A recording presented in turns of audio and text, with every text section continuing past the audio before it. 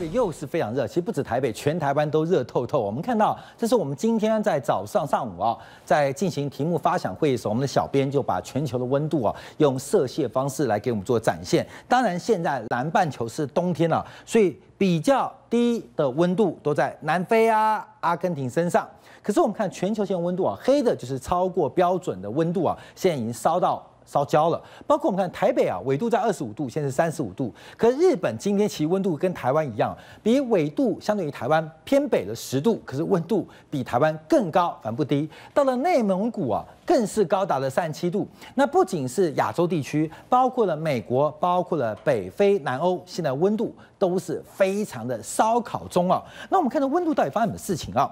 这个是从美国的这个。NASA 啊公布出来这个数据，从一九九零年到去年八月份最新的海洋速度、海洋的温度啊，实际上这个速度这个图其实是一个动态图啊，因为我们设备的关系不能展现给大家。可是大家可以看到，这每一条线就是从一到十二月海洋温度的一个平均值的估算。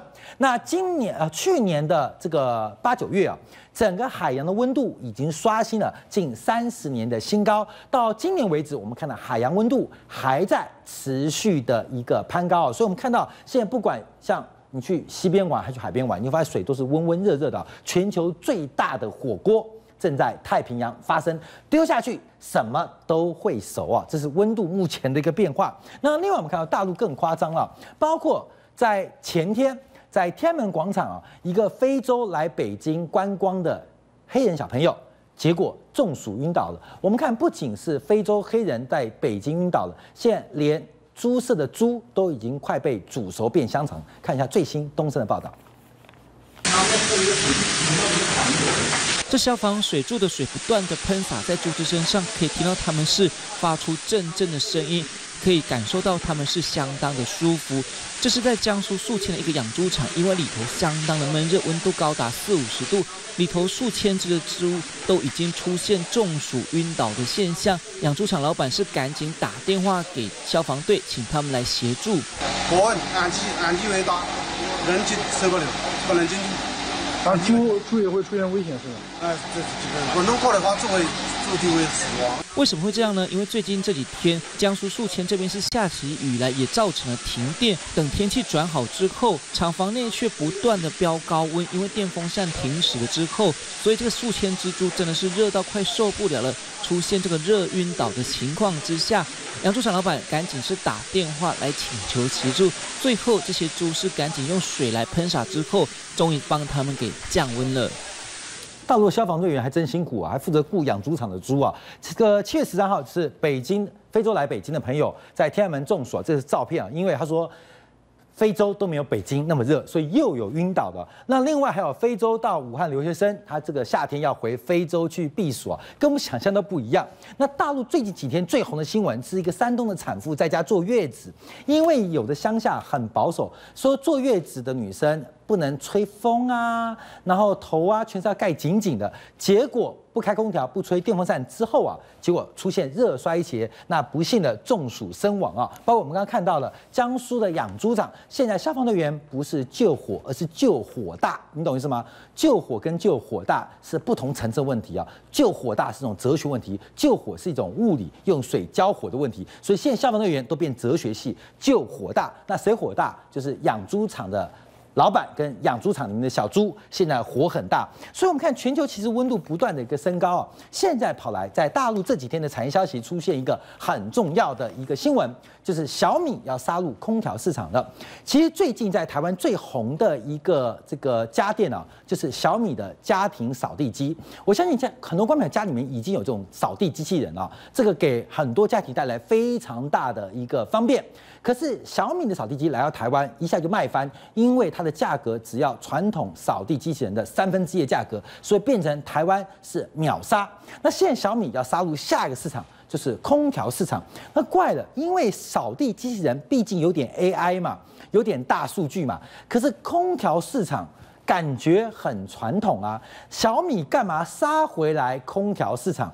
什么原因？因为这个市场利润实在太大了。好，下面我们看一下全球主要市场的一个渗透率做观察。我们再看一下空调产业，这个以粉红色是以日本为例，这是日本从一九六五年到两千年的空调渗透率。观众朋友，从这个渗透率可以观察啊，随着国家收入的提高，其空调的渗透率就是每家都拥有空调的比例会来到九十趴以上。那观众有注意到，因为你家的热水器会几台？一台嘛。你家的瓦斯炉会几台？一台嘛。你家的抽烟机会几台？一台嘛。你家电视机会几台？通常有可能两台。可是你家的冷气机绝对不止一台。观众懂意思吗？所有家电都是生活必需品，可是大部分都是一台，一台就够了。可是只有一个家电会超过一台，那就是空调。那我们想，什么最重要？观众，你回家第一件事是干嘛？你是问老婆好？妈妈好，儿子好吗？不是，现在大家回家第一件事，先找冷气遥控器。所以你知道，一开家门第一件事情，比妈妈好更重要哦，比老婆大人好更重要哦，比孩子好更重要，就是开冷气。每天离开家最后一件事，一定是冷气关了没。所以，观众有这个空调的渗透率啊，我们再往下一张图做观察，同样是用日本的经验来做掌握。其实，当 GDP 升高的时候，从日本经验，最早。发动的第一个就是这个洗洗衣机啊，洗衣机的渗透率，当国民所得四千到六千之后，这个渗透率会快速拉高。洗衣机来了，不用人工洗了。那第二个冲出来的是冰箱，当国民所得超过五千块以上，这个冰箱渗透率会急剧拉高到百分之百。那第三条线是吸尘器，所以当你的国民所得还八千以外，像包括现在扫地机器人，渗透率会快速拉高。可观没有？这条线是国民所得，那这两条线是什么东西呢？一个叫做微波炉，一个就叫做空调设备。所以，当你的国民所得不断拉高时，候，空调的渗透率会快速拉高。它特别的地方是在于，开始装之后不会只装一台，会开始一台、两台、三台。你家有几个房间，装几台？这就是小米为什么要跳到空调市场来原因。它等于有点反过来哦，从手机做到电视。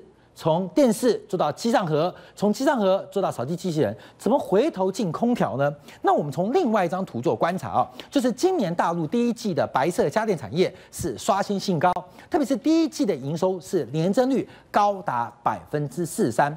整个大陆零售销售里面最火红的产业不是卖手机的，也不是卖猪肉的。是卖白色家电。什么叫做白色家电？什么叫黑色家电？看到没有？这是以前日本人讲的。因为白色家电就是电冰箱、洗衣机，它的壳是白的，叫白色。那黑色家电呢？就是家里的数位影音，像电视机通常是黑色的，除非你变态，不然你家电视一定是黑色的。所以黑色的就是数位影音，像 DVD 呀、电视啊，都是黑色的，就叫黑色家电。所以黑色家电就有点数位影音的感觉。那白色家电通常就是电冰箱啊、冷气机啊、洗衣机，除非你有问题。不然，我相信大部分人家里的洗衣机都不会是黑色的。所以，白色家电、洗衣机、电冰箱、冷气机，这去今年第一季到第二季都出现爆量的发展。我先请要俊敏做观察。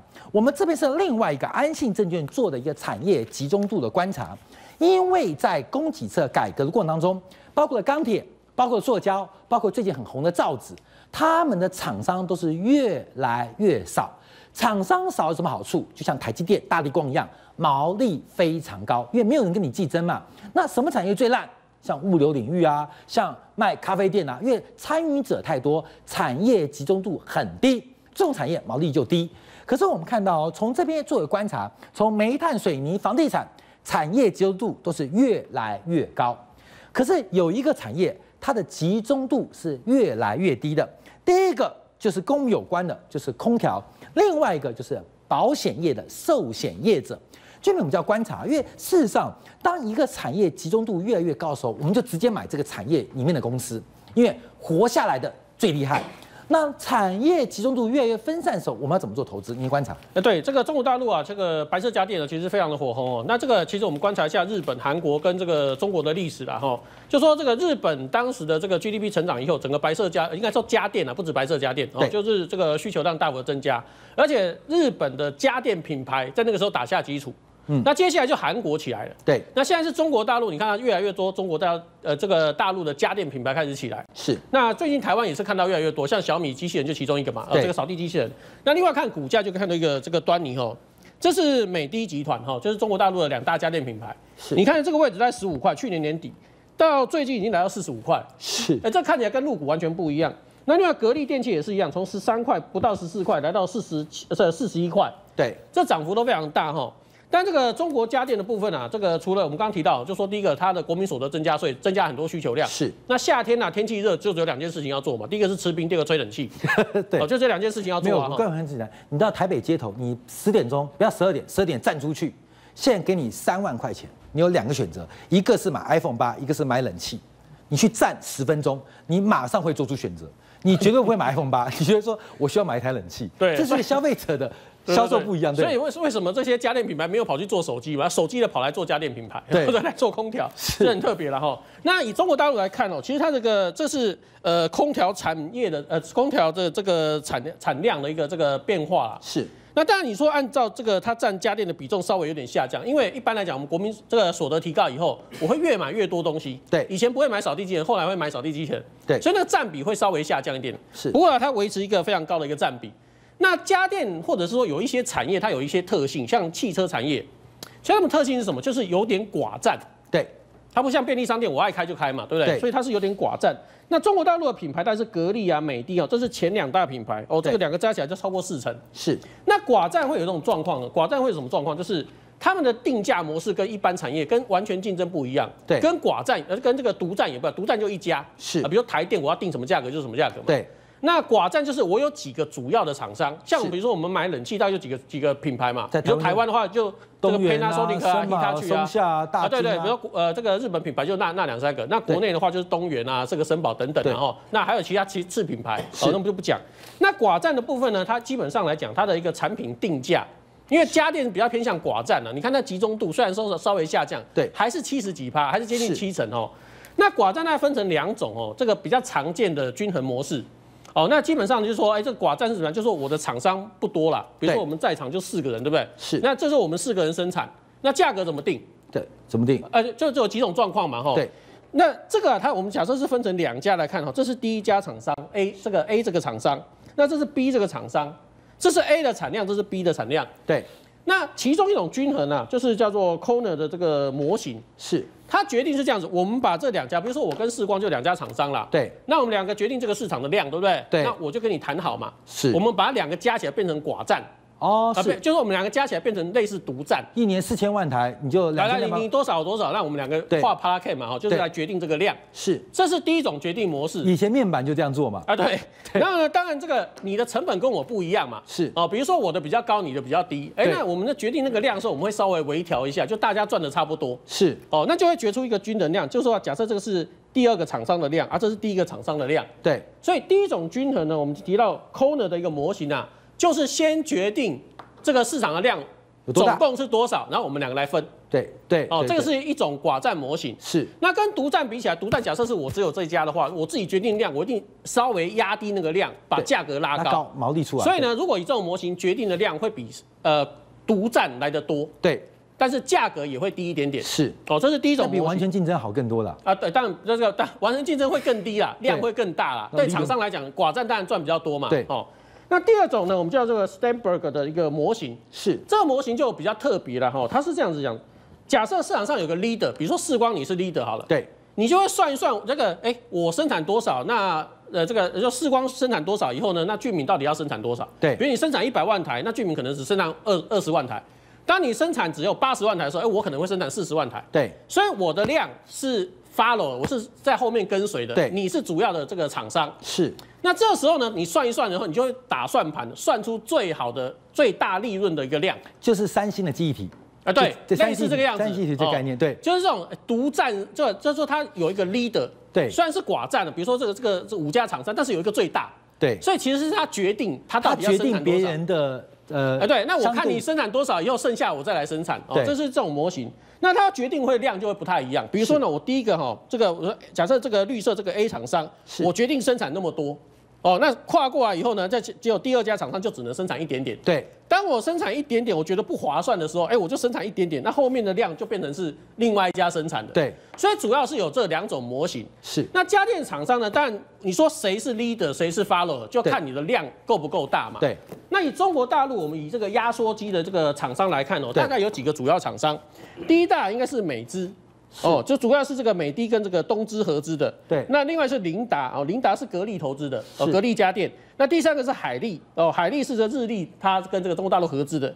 第四个就是说等于单独的话就是睿智。是。那国内这几家公司来讲哈，其实这个占比都算是相当相当的高了。对。那当然这是以这个整体压缩的这个压缩机的一个产量来看。是。那另外呢，如果说以这个出口的量来看的话，对。其实排名第一的是国内的厂商，就是这个四五三二的这个睿智。对。那第二个就是我们刚刚提到广东的这个美资。是。哦，那其他量都反而比较少。是。所以其实以这个量来看的话，哎，这个有点像是我们刚刚提到 leader 跟这个 follower。对。那其实对前面来讲哦，就是假设这两个当一起当 leader 好了。是。其实他们赚的会比下面多很多嘛。因为量是他们决定，当我量冲出来以后，剩下分给你们。是。哦，所以呢，这个家电产业的部分倒是可以特别特别的一种变化。